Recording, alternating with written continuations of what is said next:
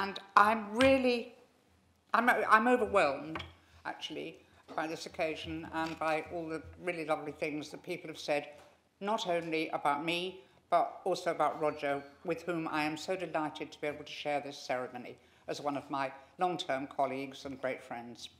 Um, it seems a long time since I first walked into my first council meeting.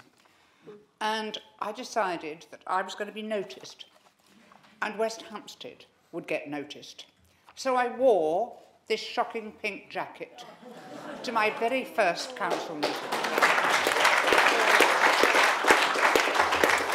It is, I fear, quite a bit older than some of you sitting here. but it has remained in my cupboard, and whenever I want a bit of courage, I put it on. But I determined at the time that I was going to make, make us known in, in, this, in this, well, not this council chamber, but the other one, proper one. Um, and my colleague Roger Billings, who got elected with me, everybody forgets, um, in 1986, um, who was coming here tonight, but actually lives out in the north of Watford somewhere, and therefore is worried about the train strikes and everything else, and who hasn't come and wasn't able to be here. But I very much wanted him to be, because he was part of the beginning. And I didn't know quite what to expect. Now, the council, you have to understand, was very, very different in those days. The whole feeling was different.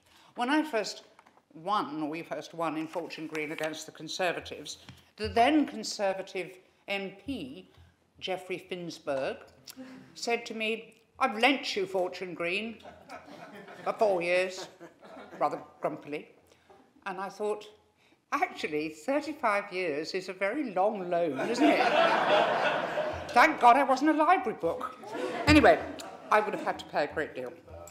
But in those 35 years, since so much come and go. I mean, when I started, councillors weren't paid.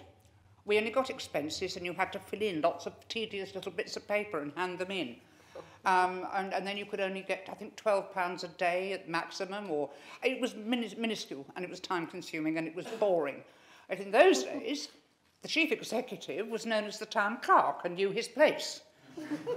he had a robe and a wig. He didn't boss us all about like the modern chief executive. and in fact, at my very first council meeting, somebody, and I think it will probably be nameless, but probably the same person was referred to earlier, threw eggs from the council chamber down onto, actually down onto the Conservative benches. But we had been allocated our two seats behind the Conservatives um, because they didn't know what to do with us because they'd never had any Liberals before. So we got stuck behind the Conservatives until I made enough fuss that we got two of the little seats all by themselves. And, and I didn't get an egg thrown me, out on me again. So, but things have changed incredibly. I started in political life well, quite late, really. Um, I wasn't politically active at all until my 40s. And I, I sort of became a liberal by mistake. Um, didn't like anybody else. Um, well, there weren't any Greens, or I might have been Green. If I'd lived in the country, I might have been an independent. But I suddenly thought, oh, there's this rather jolly little group of people. I quite like them. And then it turned out they actually needed me. Um, they ran a perfectly dreadful Christmas bazaar, and I thought, well, I can do it better than that. So the next thing is I was chair of the local party, and before we know where we are. So anyway, when I got elected four years later, it was quite a surprise, and I don't think I realised quite how, how much I wanted to do the job, or how much I had actually, it was the thing I was meant to be doing. Um, I suddenly found that I could satisfy an inordinate number of my characteristics. Like, I am incredibly curious. I like to know what's going on, and I like to know it before other people which I think led my son, who is here tonight, into, into journalism. It's wanting to know what's going on. Fascinating. So I used to love marching up to people and saying, I'm a councillor, could you tell me what the police are doing in the street? it turned out to be Princess Diana, I remember. um, but uh, so it satisfied that. It satisfied a sort of desire to be to tidy things up. Now, those who know me well know I'm not a really tidy person. In my own house, I'm not tidy. But I do like things with tidy edges and ends and outcomes. I like to, and sometimes if somebody brings you a piece of casework, it's like a ball of string. You don't know where to pull the end out first in order to unravel the whole matter. But when it does, there's an incredible sense of satisfaction. And I would say that it gives one a whole new lease of life um, in your 40s as a woman. If your children are grown up and don't want you anymore, and there's nothing to do, well, you know. Um, but I discovered I had this whole new family. And my whole other family turned out to be the Liberal Democrats. Now, I know this is probably not a very, so, you know, I'm not going to get applauded for saying this in a Labour council, but the Liberal Democrats are a very cohesive bunch of people. We do actually like each other, which is not the same for some other parties I could mention. Um, but we do actually get on very well, and we are, to some extent, a family. We socialise together. You know, we, we, we have meals together, go to the cinema together. And with that, I think Richard Osley once wrote, after a conference he attended, that we'd had dinner together and we were all standing outside saying, night, night, Keith, night, night, Flick, night, night, Jill, as if we were sort of small children. so I found I had a, a wide family as well as my immediate family. And that's what's, they've campaigned with me, I've campaigned with them, I've invited people here tonight who have campaigned with me over the years or me for them.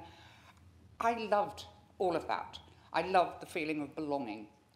And I suppose I should thank all of my, my immediate family for putting up with me, my wider family for working hard with me and supporting me and campaigning with me, my colleagues across the council from all parties with whom I have worked very happily over the years, I have been one or two disagreements. I think of some people I was quite glad to see the back of, but um, they're not here in this council chamber today, so I'm quite safe to say. And wonderful, wonderful staff and officers of the council who have been, by and large, very supportive. And um, I think possibly it's the fact that I've been around on the council so long. I've known something like eight or nine leaders of the, the council, um, eight or nine leaders of the opposition. Keith Moffitt belongs in both categories, so he has his name in gilt twice in the town hall. Um, about six chief executives. I've seen an awful lot of people come and go, and I do know where one or two quite important bodies are buried. so I rather suspect that's why everybody's always been very nice to me, just in case. Finally, I just want to say thank you. Thank you to the people of Fortune Green who voted for me for so long. Thank you to the people of Camden, the wider people, and the people that I helped and represented through my wider roles in the local government association. I've had a ball. I've really enjoyed all of it. And I want to thank you all for tonight. And just to say that my heart is with local government. It's my raison d'etre. I never wanted to save the world. I just wanted to get a bus stop erected or Kentish Town baths refurbished. I did not want to go and save the world. I knew I couldn't do it. But I did want to make Camden, which is the borough I am proud and happy to live in and have been from the first time I moved here when I was a student, and that's more years ago than the dinosaurs. Um, I'm really happy that I've been able to work in and for Camden and hopefully just make it a slightly better place. Thank you.